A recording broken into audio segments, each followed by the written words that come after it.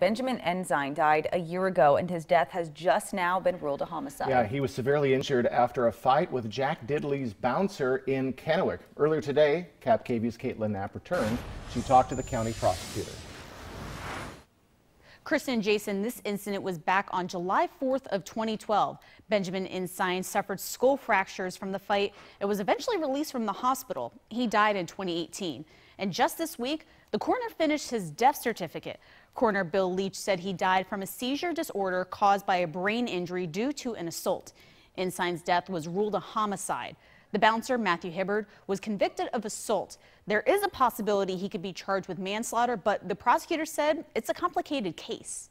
Some of the legal issues, including the intervening causes issue and the length of the time between the assault and the death, and um, see if there's any intervening acts that could have um, contributed to the death, um, in addition to the um, assault that occurred years ago.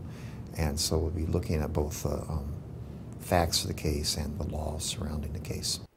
According to the coroner, many factors contributed to the delay in the death certificate. Leach said the ongoing investigation with Kennewick police was one of them. The other was to make sure there was nothing else that may have contributed to Ensign's death.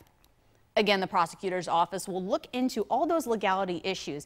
It's important to note that double jeopardy wouldn't be a factor in this case. It's ultimately up to Andy Miller if the prosecutor's office will charge Hibbard.